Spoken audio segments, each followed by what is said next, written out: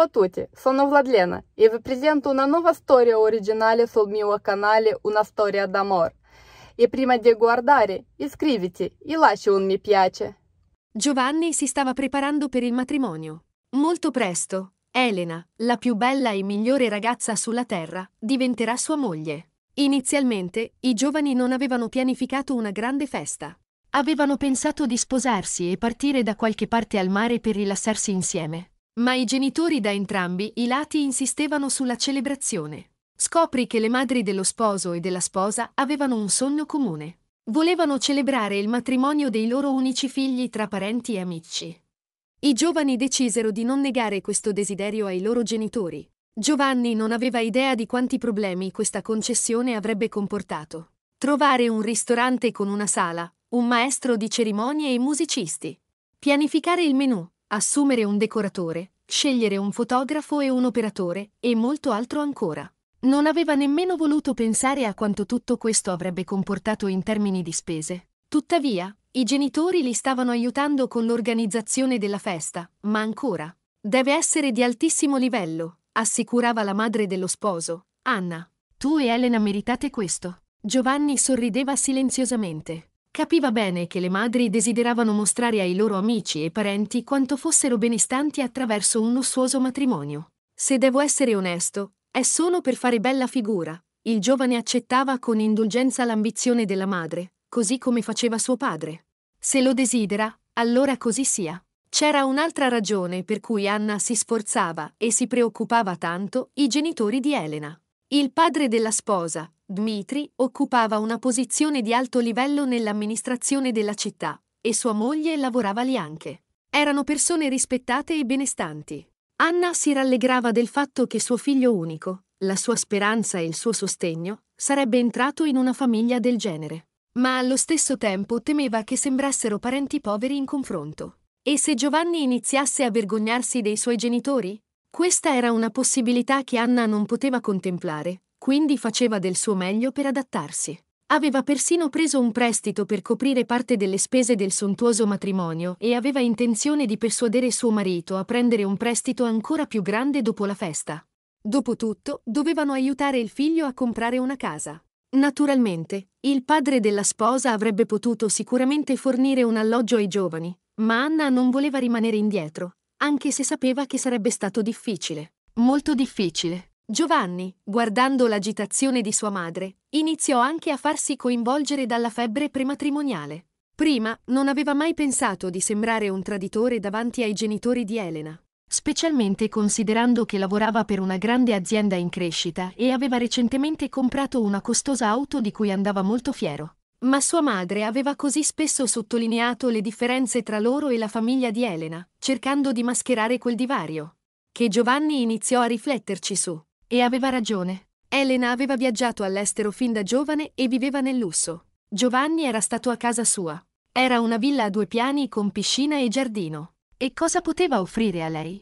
Un mutuo e una vita stipendio dopo stipendio? Bene, almeno era apprezzato dalla sua azienda e il suo stipendio stava crescendo costantemente, ma comunque. In effetti, né Elena né i suoi genitori avevano mai espresso disappunto per la situazione di Giovanni.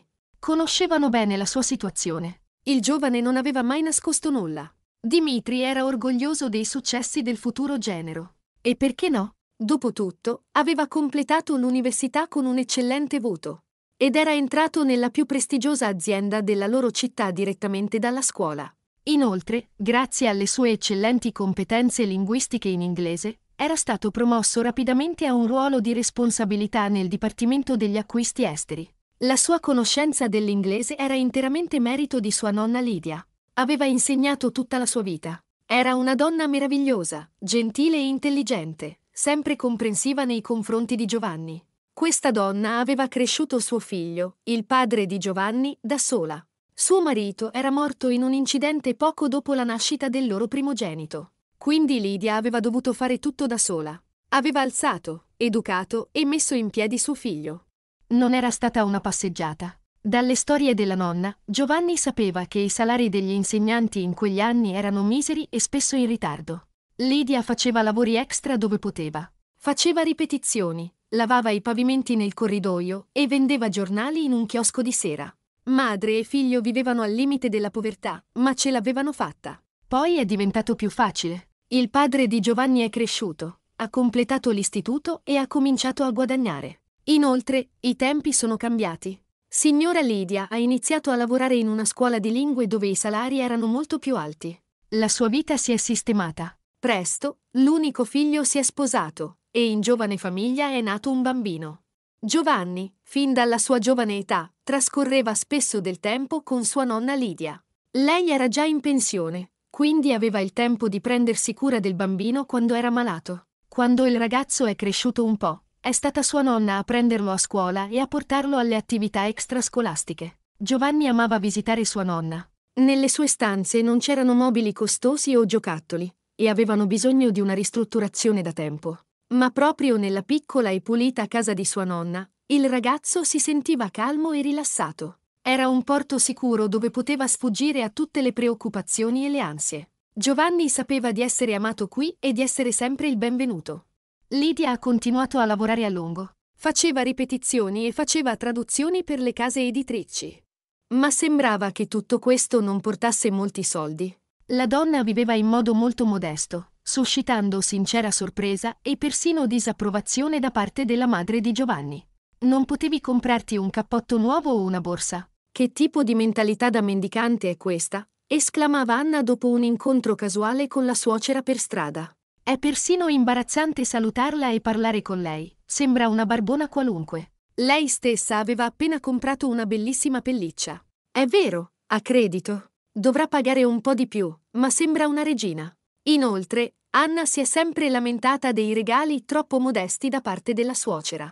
Il suo unico nipote, e gli ha regalato una sciocchezza di plastica cinese da 5 centesimi per il compleanno. Giovanni era abituato a queste osservazioni fin da bambino. In quei momenti provava pietà per sua nonna, ma non osava contraddire sua madre. Dopotutto, faceva così tanto per loro. Lavorava, faceva il bucato, puliva. Faceva lavori extra solo per assicurarsi che suo figlio non avesse bisogno di nulla. Era esausta. No, Giovanni non poteva farla arrabbiare soprattutto perché Lidia, la nonna, era una persona saggia e paziente. Non si offendeva mai con la nuora, anche quando questa la disprezzava apertamente. Trovava sempre una risposta per placare la situazione. Giovanni rimase impressionato da questa abilità straordinaria di sua nonna e cercò di imitarla. Ed ora è arrivato il momento del matrimonio. La madre vuole che tutto sia perfetto. Sta aiutando nella preparazione e sta seguendo tutti i dettagli. Dopotutto, ci saranno molte persone importanti alla cerimonia. Ci saranno molti ospiti importanti da parte di Elena. Parenti, colleghi di suo padre. Capisci che tutto deve andare al massimo livello. Niente e nessuno deve rovinare questo evento. Capisco, annui Giovanni. Certo, capisco. Hai un atteggiamento troppo serio verso tutto, è quello che capisco. Quindi, non capisci? sospirò sua madre. No, no, disse il ragazzo sorridendo. So quanto tutto questo sia importante per te. E quindi, come figlio grato, prometto di fare tutto ciò che dici. Se questo evento è così importante per te, farò in modo che si svolga esattamente come hai immaginato. Ecco, è perfetto, disse felice la donna. Ho una grande richiesta per te. È meglio non invitare tua nonna Lidia all'evento. Non si adatta, sai. Cosa? Il padre, che aveva taciuto fino ad allora, tossì il suo caffè. La decisione di sua moglie era una novità per lui. Cosa cosa? ripete Anna. Arriverà di nuovo con un vecchio vestito e regalerà qualche sciocchezza economica. È imbarazzante davanti agli ospiti. E non ti sembra che sia stata praticamente la madre dello sposo? ricordò il padre di Giovanni. Abbiamo lavorato costantemente. Chi ha preso Giovanni quando era malato? Chi lo ha portato a scuola e alle attività extrascolastiche? Beh, e allora? Anna cercò di obiettare. I miei genitori lo portavano in vacanza con loro. Al mare, niente di meno. Quasi ogni anno. Mamma, è troppo. Tentò di obiettare Giovanni. La nonna è una persona molto cara per me. E allora vai a farle visita con una torta. Siedi e bevi tè insieme. Ma non c'è bisogno di portarla al matrimonio, insistette Anna. Immagina come si sentirebbe tra questi ospiti. E neanche lei si sentirebbe a suo agio lì. Pensa ai suoi sentimenti. E Giovanni ci pensò. Forse mia madre ha ragione? La ama molto anche se, davvero non si inserirebbe tra la compagnia di invitati accuratamente selezionati. Sono tutti ricchi, con auto costose. E mia nonna e mio nonno, dalla parte di mia madre, non sono da meno. Hanno creato un'immagine di persone rispettabili e di successo per tutta la vita. E Lidia? Giovanni pensò al suo vecchio cappotto logoro, alle scarpe con le punte consumate, alla borsa con la maniglia logora. In passato lo prendeva con leggerezza e naturalità. Forse nemmeno prestava attenzione a queste piccolezze. Ma ora, forse mia madre ha ragione, non dovremmo invitare mia nonna. Lei non se la prenderebbe, capirebbe tutto. Lidia è così. Giovanni non ricordava che si fosse mai arrabbiata. Aveva un carattere straordinario. Forse è per questo che aveva così tanti amici. Spesso gli amici andavano a trovare sua nonna e il telefono non smetteva mai di squillare. Vicini di casa, ex colleghi, ex studenti cresciuti. A molte persone piaceva l'atmosfera di calma e calore che emanava dalla nonna. Lidia sapeva sempre cosa dire per sostenere una persona per aiutarla a superare le preoccupazioni. Probabilmente sarebbe stata una psicologa eccezionale. E ora la situazione era imbarazzante. Giovanni, ovviamente, lo capiva, ma sapeva che sua nonna avrebbe capito tutto come si deve e non se la sarebbe presa. Era meglio parlarle anziché litigare con sua madre. Era già nervosa. La conversazione, naturalmente, si prospetta sgradevole. Sua madre gli ha detto che è lui a dover dire alla nonna che non è invitata al matrimonio. Vai da lei con una torta e dille semplicemente che stiamo festeggiando in famiglia, istruiva Anna il figlio. Non c'è niente di male in questo. Questi tipi di celebrazioni per i vecchi non vengono nemmeno più organizzati. E cosa ne dici dei tuoi genitori? ha chiesto suo padre. Li hai invitati. E i miei genitori? La donna ha messo l'accento sulla parola miei. I miei genitori daranno una grossa somma di denaro ai giovani come contributo aggiuntivo all'acquisto della casa. Sarà un bel sostegno. Quindi non fare questi confronti. Ed ecco Giovanni in piedi con una torta in mano davanti alla porta di casa. Per la prima volta prova sentimenti così contrastanti sulla soglia dell'appartamento della nonna. Oh, ecco sua madre con il suo matrimonio da principessa. Hanno pianificato un banchetto per le persone VIP. Persino la nonna preferita non è invitata. E non c'è nulla da dire contro di questo.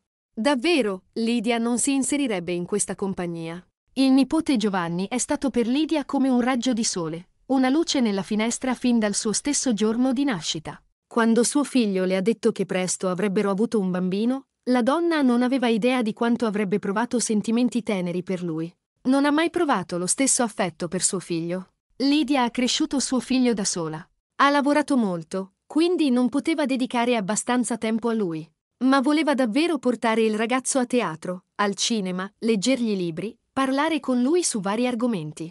Ma allora aveva una missione diversa, sopravvivere. Guardando il suo piccolo nipote, Lidia sognava di dargli tutta l'attenzione che non poteva dare a suo figlio. Fortunatamente, ci è riuscita. Non lavorava più, faceva solo lavori occasionali come insegnante e traduttrice. Aveva un orario flessibile e libero. Tra tutti i membri della famiglia, era Lidia l'unica persona che poteva dedicarsi completamente a Giovanni. La donna si è immera volentieri nei compiti legati al bambino. Poteva portarlo al cinema e al teatro, leggergli libri e, fin dai primi anni, insegnargli l'inglese. Grazie a questa competenza linguistica, il ragazzo è stato il migliore nella sua classe in inglese e ha vinto diversi premi in diverse Olimpiadi. In seguito, la sua padronanza della lingua gli ha aiutato a ottenere un lavoro ben remunerato in una società dove lavorava. Era bello che Giovanni riconoscesse a chi doveva questo successo. Quel giorno, il nipote corse dalla nonna, la abbracciò e le disse con gioia che ora era il capo del Dipartimento degli Acquisti Internazionali. Il mio unico vantaggio rispetto agli altri candidati era la conoscenza della lingua. Se non ti fossi occupata di me fin dall'età di tre anni, nulla di tutto ciò sarebbe accaduto. Quanto ti sono grato. Ma eri un ottimo studente e amavi la materia da solo. Non credi che io capisca, nonna? È stato grazie a te che ho sviluppato l'amore per l'inglese. Ricordo come inventavi giochi interessanti in modo che le lezioni non sembrassero noiose. E sei un ragazzo attento, sorrise Lidia. Era felice per suo nipote. Era così giovane e aveva già raggiunto così tanto nella sua carriera.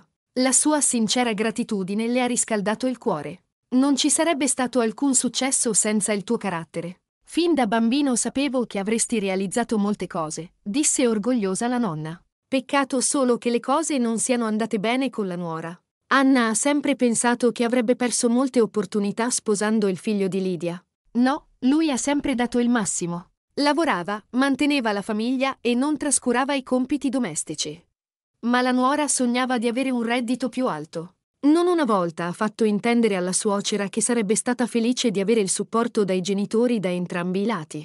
Solo i suoi genitori si stavano impegnando. Hanno contribuito all'acquisto dell'appartamento, l'hanno aiutata a comprare una macchina e portano il bambino al mare ogni anno. Ma cosa poteva fare Lidia? Era abituata a vivere in modo semplice, senza lussi. Aveva altre priorità, altre gioie. Almeno con Giovanni non le vietavano di comunicare. Anzi, quando il ragazzo era piccolo, praticamente viveva con sua nonna. I tuoi genitori sono davvero troppo audaci, sospirava la vicina Tatiana. Ti hanno scaricata con il bambino e vivono per il loro piacere. E per me è anche meglio, rispondeva Lidia. Beh, guarda come sai. Cosa volete, come pensate, rispondeva la donna. Io, ad esempio.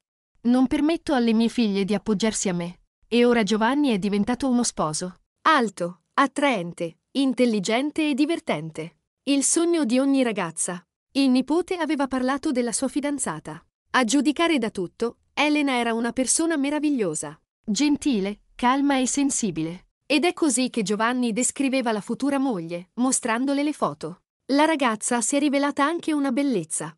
La sposa aveva genitori facoltosi.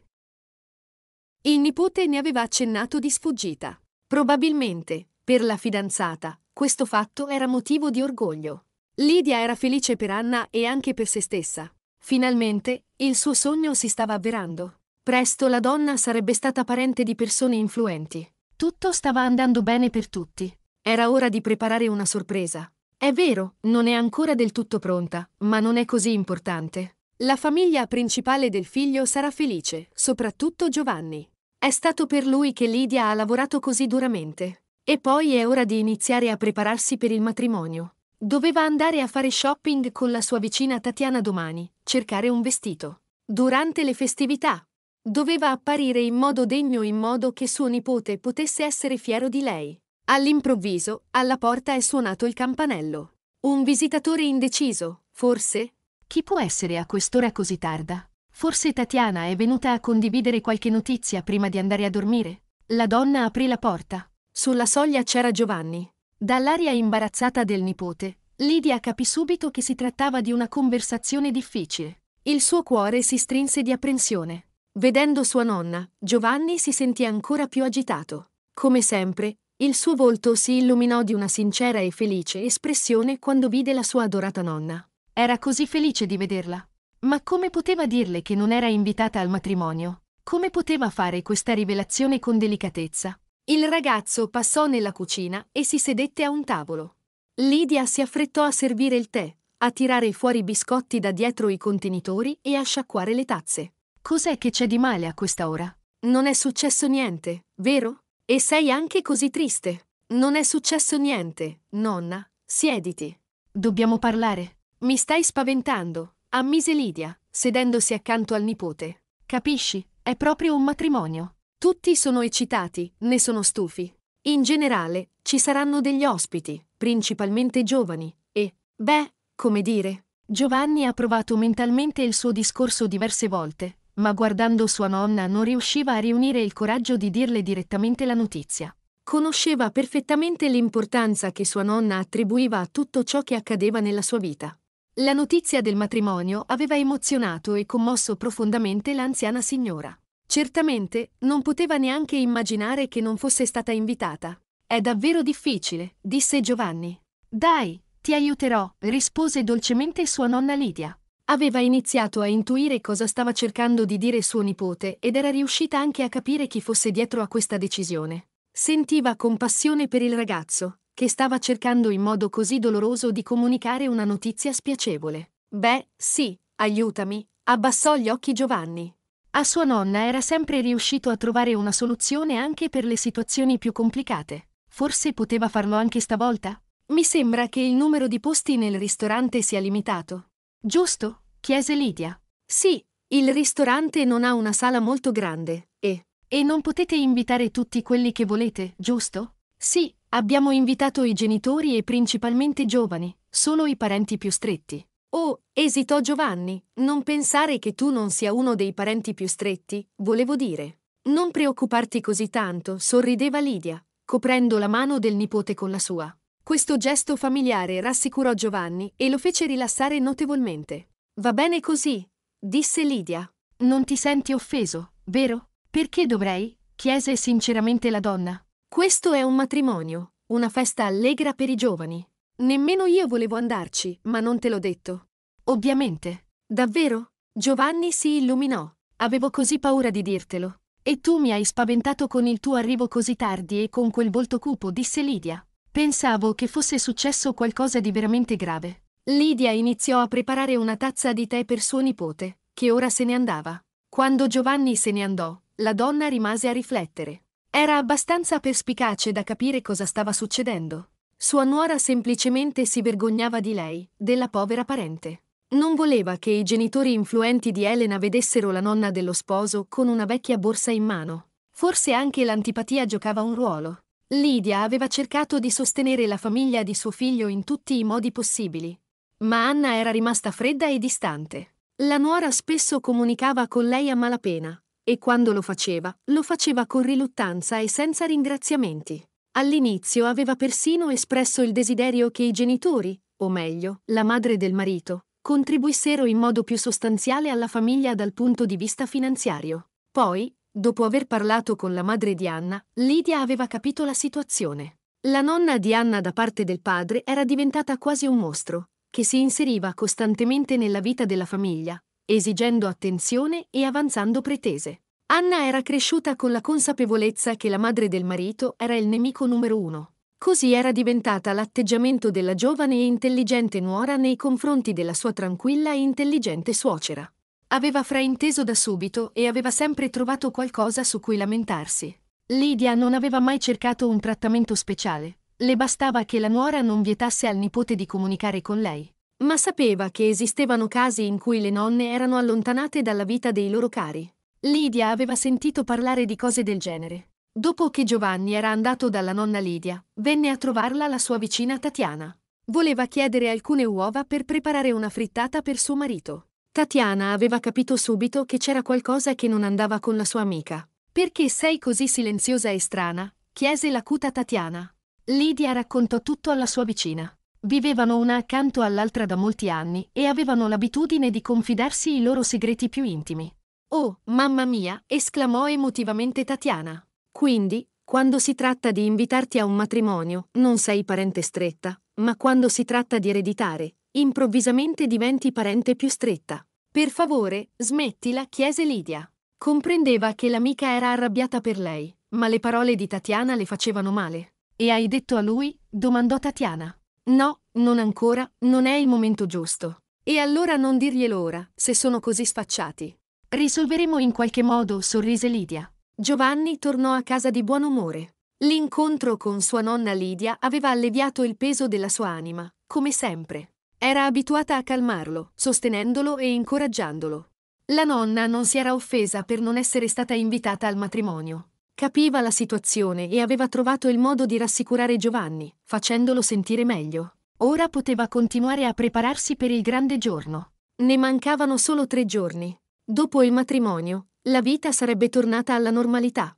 Non vedeva l'ora che arrivasse. Pochi giorni prima del matrimonio, un corriere si presentò all'ufficio di Giovanni. Dopo aver confermato il suo nome e cognome, gli consegnò una busta spessa contenente documenti. Giovanni firmò la ricevuta e strappò la busta aperta. All'interno c'erano documenti, una chiave e una lettera. Giovanni riconobbe subito la calligrafia di sua nonna. Non si aspettava questo. Aveva pensato che la busta contenesse documenti relativi al lavoro. Con un certo stupore, iniziò a leggere la lettera di sua nonna. La lettera di sua nonna. Giovanni, sei la persona più cara della mia vita e lo sarai sempre. Sappi che hai una nonna che ti accoglierà e capirà qualsiasi cosa accada. Sei ormai un adulto. Stai per creare una famiglia con una splendida e meritevole ragazza. E sono felice per te, felice per entrambi. Ora, riguardo alla cosa più importante. La tua relazione con tua madre non è stata delle più facili, lo sai. Ma in molti aspetti ha ragione. L'indipendenza finanziaria e il benessere, sebbene non siano tutto, sono importanti, soprattutto per un uomo che deve mantenere la sua famiglia. So che hai molte responsabilità sulle tue spalle. La vita moderna è dura, specialmente per i giovani, che spesso hanno bisogno di aiuto e supporto. E io voglio dartelo. Sai, Giovanni, che ho lavorato duramente per tutta la mia vita, ma ho vissuto modestamente. Non ho potuto permettermi di comprarti costosi giocattoli o vestiti, anche se avrei voluto. Non ho potuto portarti in vacanza. Ma ho visto che hai avuto tutto questo dai tuoi genitori e da me. Ho cercato di darti altre cose, attenzione, cura, conoscenza e, alla fine, risorse. Ho risparmiato denaro per molto tempo e sono riuscita a comprare un appartamento in una zona prestigiosa. Nessuno lo sa, tranne Tatiana, in caso qualcosa mi succeda. È vero, il restauro non è ancora finito, non ho avuto il tempo, ma l'appartamento è abitabile. Nella busta ci sono i documenti per la proprietà. Una donazione intestata a te e le chiavi. Con affetto, tua nonna Lidia. Giovanni fissava incredulo la lettera e non poteva credere ai suoi occhi. Per tutto il tempo che poteva ricordare, sua nonna Lidia aveva sempre risparmiato su ogni piccola cosa.